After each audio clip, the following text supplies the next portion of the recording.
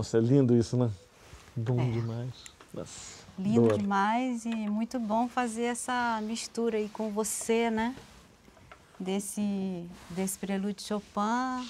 Bossa noviano. É. Eu sempre demonstro isso às vezes para os alunos, assim, né, para entender assim como a música popular também é rica, né, e essas essas Esses, dizer, essas interseções são bacanas, né? sim, elas se repetem muito e a gente não repara, né, porque é, tão natural, né? É. E mas eu nunca tinha realmente tocado isso É. desse jeito. Então, só com você. É. Aliás, Gente, é a primeira é. vez, né? Nossa primeira total, juntos. total. Aliás, isso acontece toda hora no programa. Nunca tocamos juntos, sentamos, já vale. Em grande estilo. Muito bom. Eu gosto de ir puxando assim o novelo, sabe? Para ver o que, que as histórias que a pessoa tem.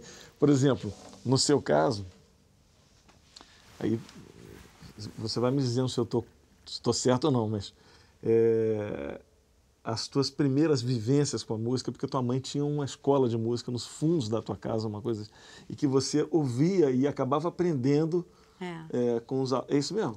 Conta É um pouco dessa mesmo. história. Durante 47 anos, a minha mãe era diretora de uma escola de música e dança em Nova Iguaçu. E eu sou de lá, né? Então, os fundos da casa se comunicavam com os fundos da escola. Então, era, eu ouvia piano o dia inteiro, música o dia inteiro, né? É, e quando não era o piano das aulas de piano, era o piano que usavam para as aulas de balé, das fitas, né? Para enfim, para ter música nas aulas. Então, assim, eu nasci nesse ambiente musical. E, e minha mãe também tinha uma formação como professora de acordeon, né? Com mascarenhas. Então, ela falou que deu aula de acordeon com a barriga desse tamanho e eu lá Nossa, dentro, né? Caramba.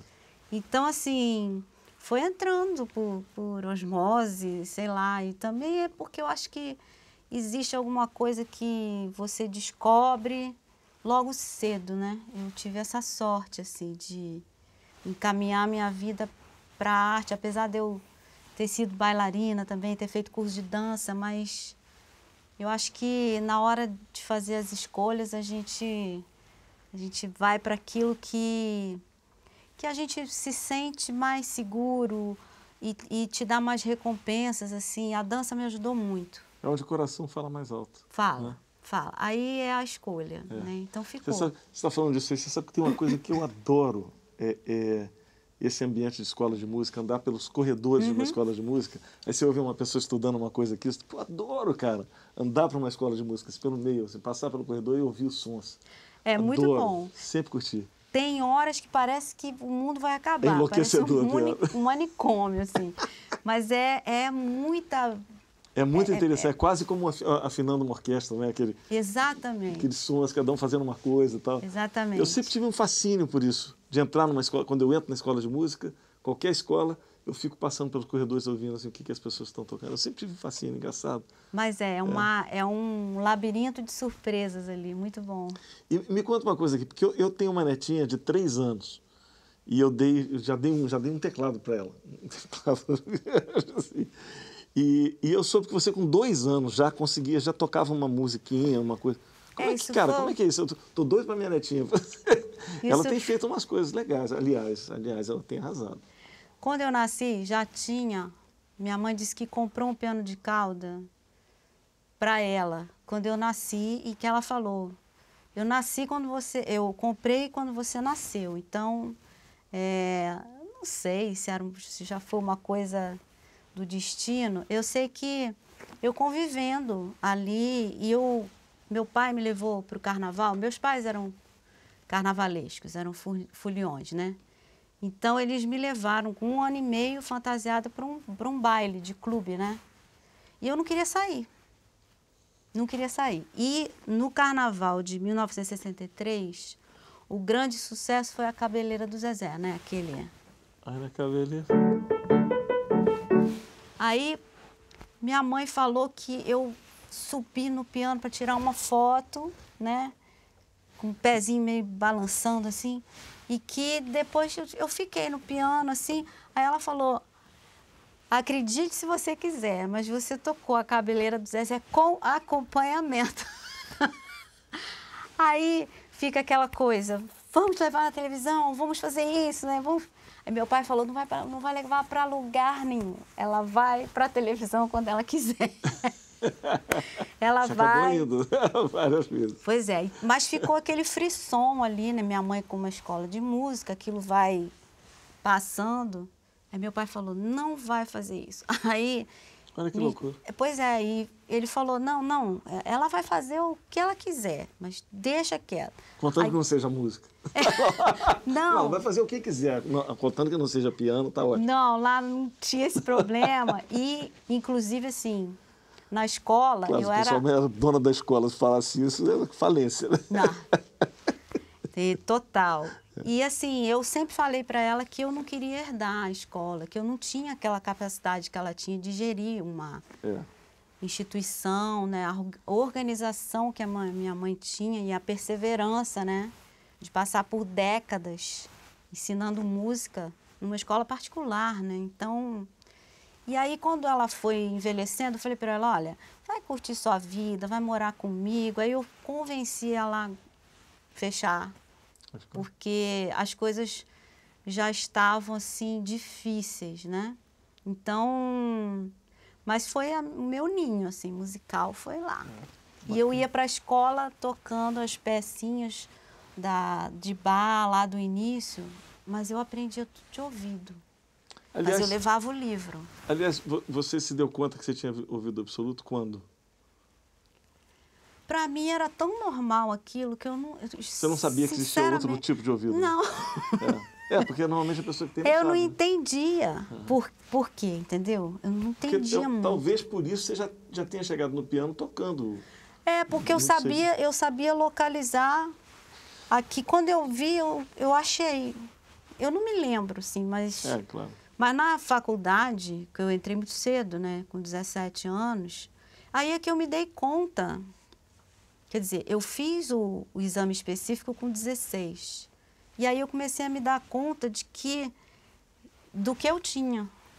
Porque até então, assim, É para mim não eu assim, eu, eu fui dispensada da percepção, dessas coisas todas, porque eu não podia falar. E o professor falava: "Vem fazer as provas". Aí eu fazia as provas.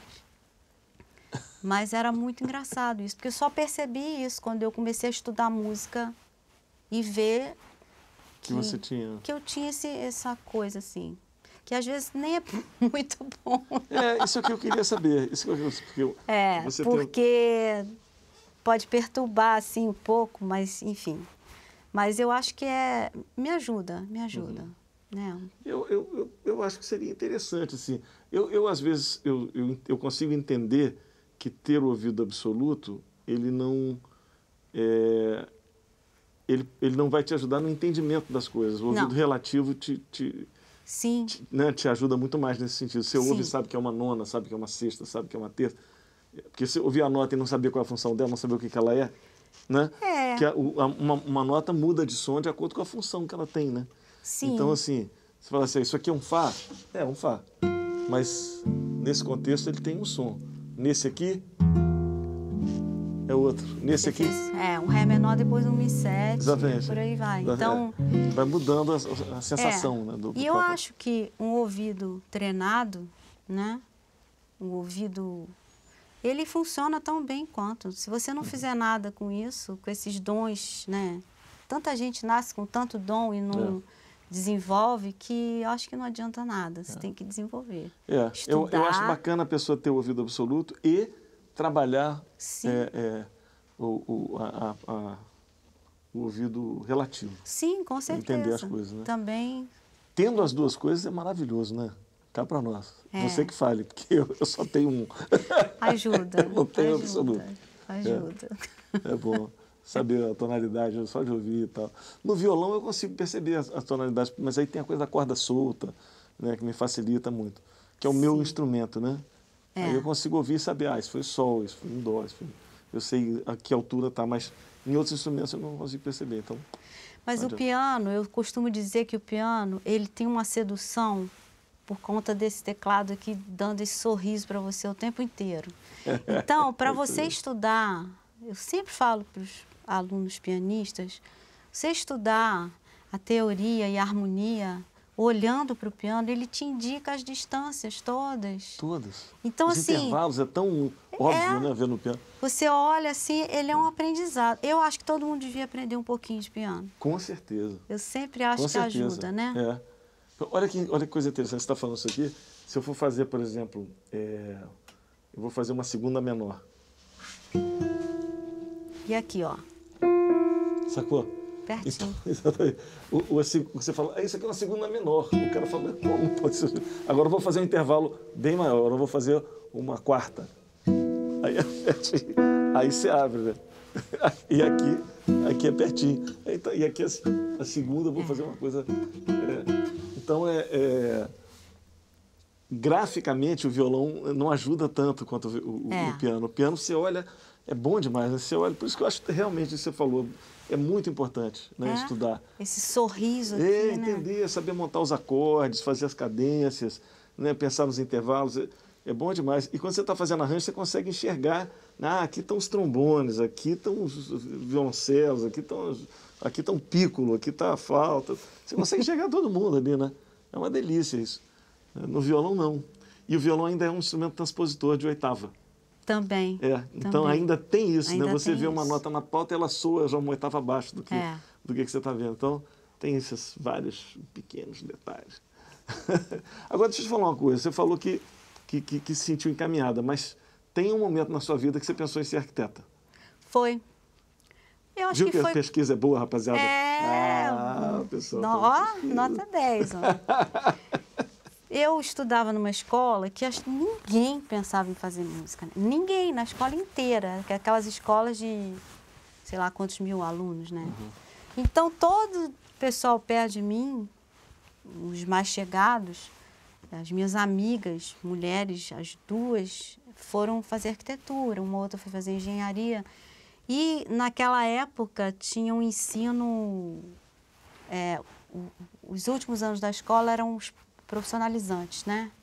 Então, Ah, eu acabei fazendo eletrotécnico, porque eu sempre, Ó. eu sempre gostei de matemática, tá? Eu sempre Uhum. fui boa aluna de matemática na escola. Então, eu vou fazer, eu não vou fazer área biomédica, nem secretariado, nem normal. Vou fazer eletrotécnico, né? Só que eu fiz, e aí todos estavam querendo fazer, ou alguma coisa próxima, né? E eu querendo fazer música. E aí tinha aquela, aquele assunto, né? Mas você vai viver de quê? Eu falei, ué, minha mãe tem uma escola, É. me criou, entendeu? Eu, eu vou, eu quero tocar, eu vou me especializar nisso. Aí deu aquela coisa, aí eu fui chamada pelo meu pai e pela minha mãe, falando, que história é essa? O contrário, né? Olha só. Porque eles falaram, você pode fazer dança, né? Música que você falou o tempo inteiro que queria fazer, que queria ser uma pianista. Aí você resolve fazer arquitetura, mas assim, tipo, deu aquela chamada pensando, minha filha pode ficar muito infeliz com isso, Zé, no- porque a adolescência você sabe, né? É, claro. Vai dar valsa, a gente... Total. E Engraçado. aí, há tempo, eu fui. Eles tiveram essa conversa. E aí eu pensei, falei.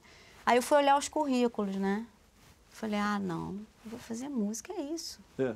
Pronto, aí resolveu. Com Você sabe- 16 Você anos. está falando, você está me lembrando uma história do Menescal, do Roberto Menescal, que é ótimo, que o Menescal, os irmãos dele são arquitetos e ele é músico, né?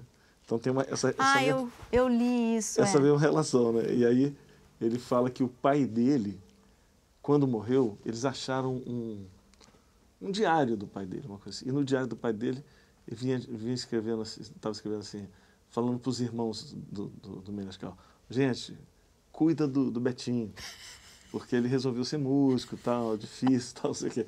Aí o Menescal falou, pô, se meu pai estivesse vivo agora, ele fala, pô, Menescal, cuida dos seus irmãos, você resolveu ser arquiteto. Cara, super bem sucedido, né, cara? Menescal. Acho barato. Não, é isso aí Essa é- história é boa demais. Quando ele contou o rolê de... Isso eu é um fato, assim, né? De, de, de, de algumas pessoas não acreditarem que você está numa profissão É uma profissão. como outra qualquer, Exatamente. né? Você se especializa, que Exatamente. você corre atrás e que, que você recebe também retorno, enfim. Agora, eu, como eu sempre digo, o glamour é no palco, né? Uhum. O glamour é quando a gente É, toca, é. né? Porque fora é É a É uma relação- dedicação, é é. uma dedicação, a relação normal da vida. né, de qualquer- estuda, de qualquer profissão, né? pesquisa. É. É. então eu acho que é que é isso. O glamour do palco é a cereja do bolo, assim. E eu gasto ele todo lá. Toda, todo aqui, assim, a gente tocando, graças a Deus. É. O resto sem glamour total.